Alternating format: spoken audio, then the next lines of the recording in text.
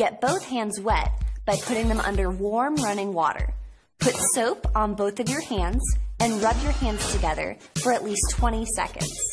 You'll know when 20 seconds are up if you start rubbing your hands together and then slowly sing the happy birthday song twice.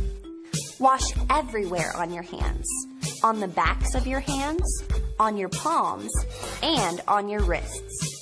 Be sure to wash each finger and under your fingernails, using one hand to scrub the other. Rinse with the fingertips pointed down. Then dry your hands with a paper towel. When your hands are dry, use the paper towel to turn off